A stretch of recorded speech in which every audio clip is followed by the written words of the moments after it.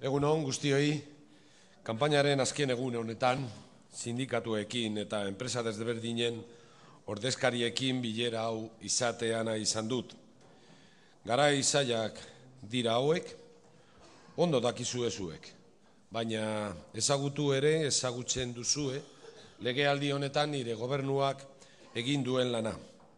Denok batera egin dugun lana, alegia, gobernuak, enpresek, sindikatuek, denok batera, eskuz esku egin dugu lan krisiari eta lagabeziari aurre egiteko.